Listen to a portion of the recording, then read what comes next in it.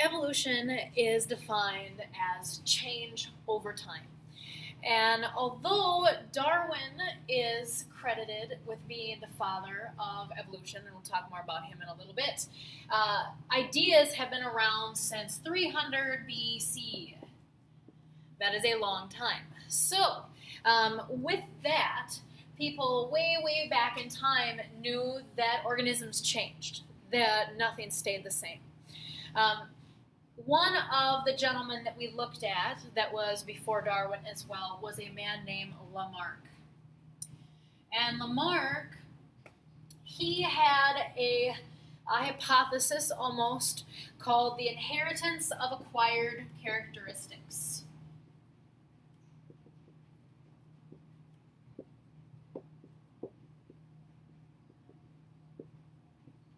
What this means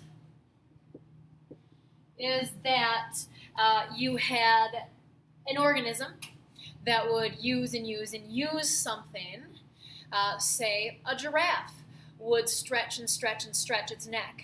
And because of that, it would be able to pass on a longer neck to its offspring. Now, we know today that that is not true. He did not have any idea of what DNA was and what it did for a person. Um, so he was on the right track but he did not um, hit the nail quite on the head. So his giraffes and his inheritance of acquired characteristics uh, is not true. Uh, so that brings us ahead to Charles Darwin. Now, Charles Darwin, as I mentioned before, was a young man. His father, he really wanted him to be a doctor, something that would bring the family much um, wealth, much fame, and it would be a good profession. Well, Darwin did not want to do that. He wanted to follow his own dreams, and so he does what any young man would do in that time. He would run away. So he signed up on a ship called the HMS Beagle. And he sailed away in 1831. And this ship went to the Galapagos Islands. The Galapagos Islands are famous for their diversity and uh, the organisms that live there. And while he was there, he got to document all of the things he saw. Charles Darwin, his role on the Beagle was a naturalist. A naturalist is pretty much the document uh, person. He's the one who documents everything. He draws, he observes, he sketches all of the living things and even some of the non living things that they discovered on their voyage. So that was his job to do that. Um, when he did this, he saw lots of different things, and it made him question. And the scientist that he was, it led him to some conclusions.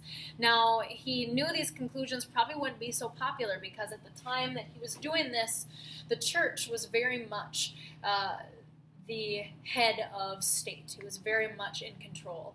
And so he knew that his beliefs would not be so popular because they would be viewed as heretic and not true, uh, to going against what the Bible taught.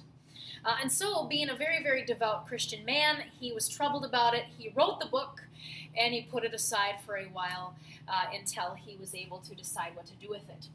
Uh, later on, there was a gentleman named Alfred Wallace that came along, a younger man who was doing some work uh, and also discovering some of the same things. So he put out an abstract, kind of a shortened version of what his paper was going to be about the same things that Darwin was talking about.